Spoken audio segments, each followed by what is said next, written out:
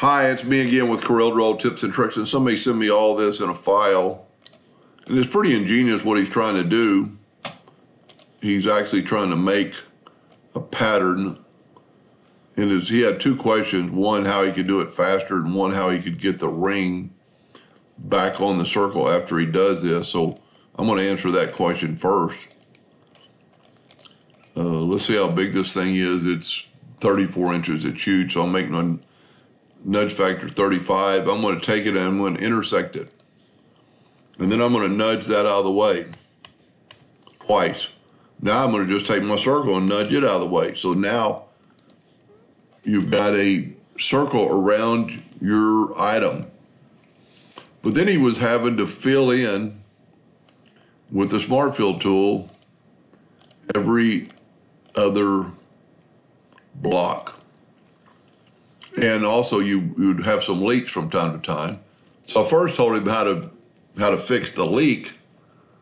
And I didn't know what he was doing, so let's go and go to effects and contour and let's contour to the inside just 0.01. Let's see if that's enough. And then let's try that leak before we even break the contour back. So now we've fixed the leak. Well, let's get even in closer. Um, so we have fixed the leak and then you just break that contour apart and your circle is a minute, minute little, and a lot of times you have to go and grab the whole thing to break the contour apart and then grab that outside contour. But instead of going through all that trouble to fill up the individual squares, well, I'm having trouble.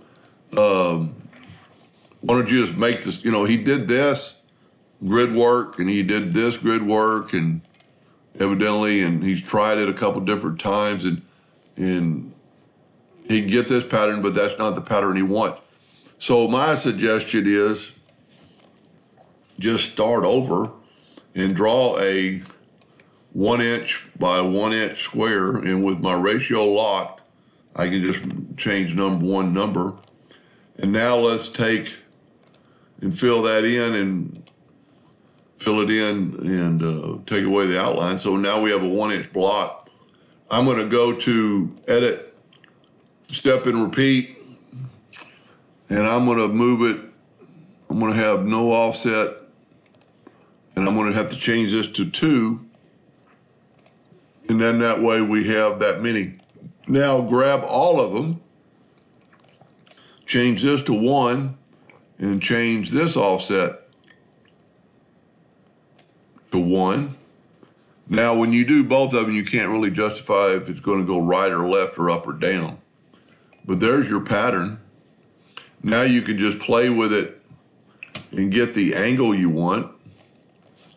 And you need to group it together. Control G. And then just depend on what angles you want the diamonds to be in your shape, or you can move your shape or move your he was actually when we first started talking, he was using the three-point ellipse to kind of make a, a um, offset circle, and and then just put it in there. And the good thing about this, you can you're not messing anything up. So let's see how big this is now.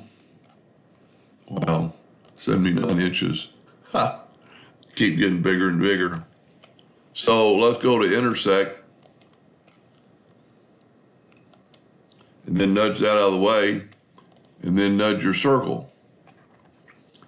And if that's not the angle of the diamond shape you want, you can do, you know, you can do two things, control D and make a duplicate and move that back, but you still have this diamond shape and you haven't messed with the pattern.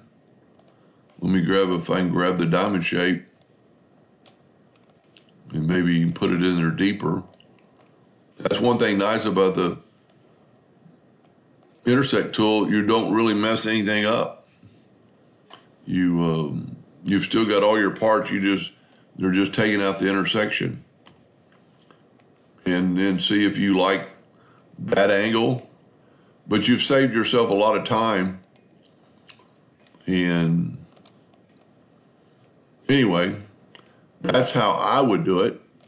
Just color in the blocks first. It's a lot easier. And, you know, there's a lot you can do with a pattern like this. Let's just, just get an ellipse, put it in there. Go to the intersect tool, intersect it. That's a pretty cool pattern. And like I said, don't ever move it out of the way, nudge it out of the way in case you want that, in case you want an outline around it, then you could nudge it to your heart's content.